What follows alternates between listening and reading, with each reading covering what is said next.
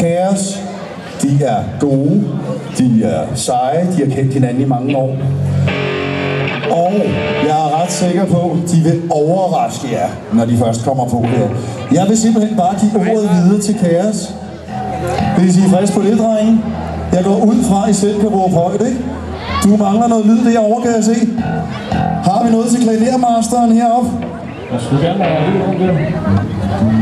Der mangler noget lyd, jeg tror lige der. Der var tidligere. Yes, to sekunder. Det er her billede fra. Det er en du billede fra. Der var tidligere.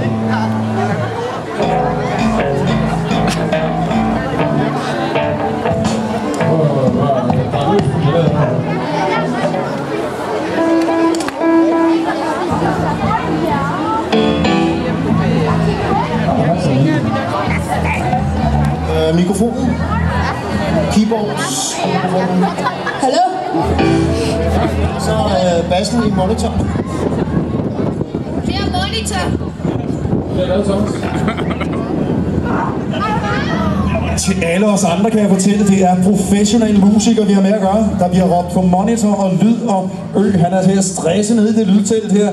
Så jeg tror ikke, jeg vil gøre andet end bare gå ned fra scenen og lade dem simpelthen ondulere denne her smadre scenen. Ja, det gør du vel. Velkommen til Kaos! Tak. Ja, vi vil gerne præsentere Malte på bas. Det er mig. Og Oscar på trommer. Og Victor på keyboard. Og jeg hedder Kasper på guitar. Vi vil gerne spille et øh, nummer, der hedder Numb med Linkin Park.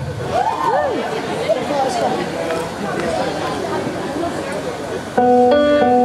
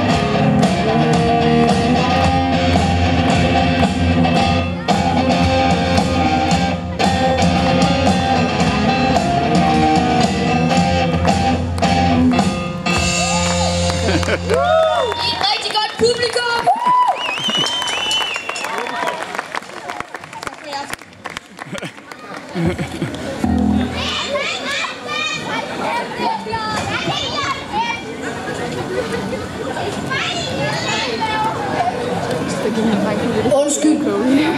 Nå, Jeg vil have lov til for os alle sammen at sige rigtig mange tak til Kaos alligevel. Det er ingen undskyldninger, drenge. Det behøver I slet ikke. Nå, mens vi lige går klar til den næste, der skal vi faktisk bede Esther, Ida og Rod om at komme herop. udmærket. Vi øh, har også fået at vide, at Ida, hun helst hedder Idaho. Udmærket, Kom du herop på scenen. Jeg vidste ikke,